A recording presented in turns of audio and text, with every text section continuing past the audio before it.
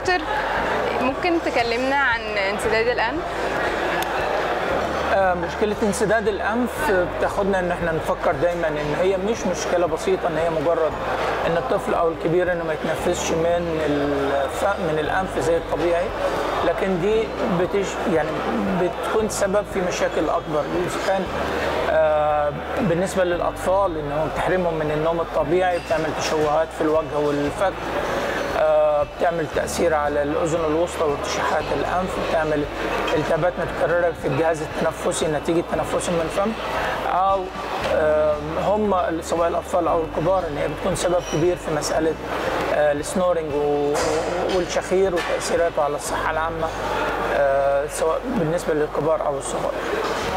فانسداد الأنف أول ما نشوف انسداد الأنف متكرر بدون ما بيتحسن مع الأدوية لازم نلجأ للدكتور إن إحنا نقدر نعمل له آه، فحص مناسب ونعمل له آه، التشخيص المناسب قد يكون في الأطفال خاصة بسبب حاجة خلقية من وقت الولادة أو تكون بسبب كبر اللحمية إن هي تكونت أو تكون تشوهات في سقف الحلقة أو تشوهات في الانف آه، أو تكون لا قدر الله بسبب اورام أو بتكون بسبب التهابات مزمنة في في الأنف يعني. لكن لو جينا للكبار هنلاقي في تشوهات ال- ال- ال- ال- الحاجز الانفي أو تضخم قرنيات الأنف أو تضخم الاوشيه المخاطيه للأنف أو لا قدر الله برضو وجود أورام في في منطقة الأنف أو منطقة خلف الأنف.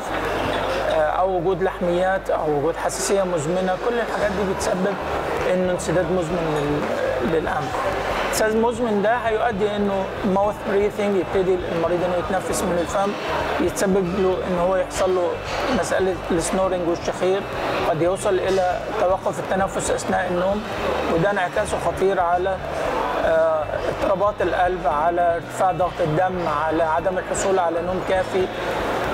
حتى ال- الناس اللي هم بيوصلوا لدرجة السنورنج أو أو الشخير وانقطاع التنفس أثناء النوم أحيانا بنجد منهم بعض الناس. بيجي لها نوبات النوم بالغير إرادي في اجتماعات في قعدات أو حتى في أثناء سواقة السيارة. ده معناته إنه معرضين للخطر دايما سواء على صحتهم العامة أو في حدوث حوادث ودي حاجة في منتهى الخطورة.